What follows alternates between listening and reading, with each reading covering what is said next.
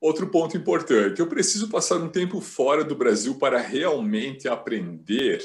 Ah, mas eu só vou aprender inglês quando eu passar um tempo lá fora. Eu ouço isso com uma certa frequência até. Ah, eu só vou me soltar quando eu for lá para fora e passar tantos meses lá fora. Pessoal, não é o lá fora a questão de um, aprender inglês ou não. Até porque eu já conheci gente na Nova Zelândia, já contei isso numa outra live lá no Insta, que morava lá, um período que fui passar na Nova Zelândia, trabalhei, estudei lá. Conheci brasileiros que estavam lá três anos e não falavam inglês.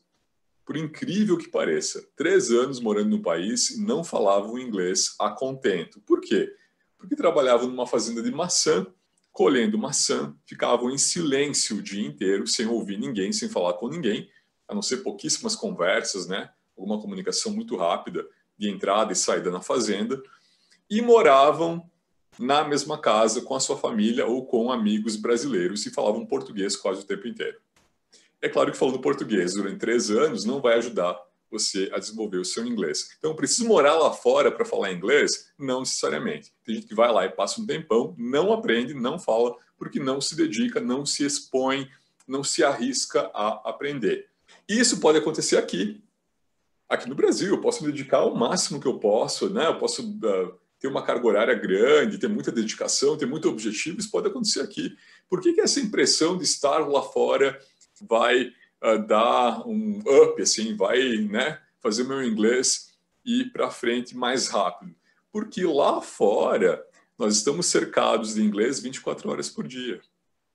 É diferente daqui, que de repente eu só falo inglês quando estou em aula.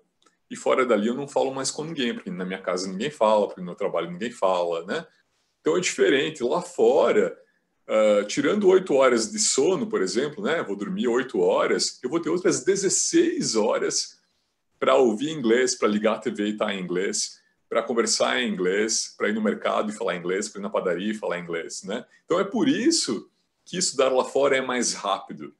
Não é por estar lá fora, mas é por estar muitas horas em contato diário com o idioma. Se isso acontecesse aqui no Brasil, se eu me dedicasse a essa mesma carga horária, eu falaria inglês tão bem quanto eu falaria estando lá fora, né? Então não é o local geográfico, mas sim a exposição ao idioma, a carga horária que eu me dedico, que eu estou exposto, né, à língua, vou assimilando, vou internalizando, vou falando, vou praticando, vou estar em situações reais, né?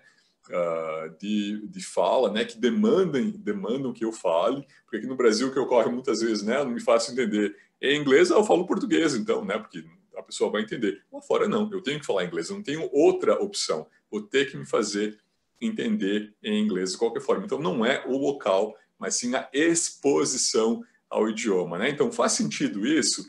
Faz, porque nós teremos uma carga horária maior, mas não é uma condição é, estritamente necessária para que eu fale inglês, a exemplo desses brasileiros que estavam há três anos na Nova Zelândia e não falavam inglês ainda, né, infelizmente.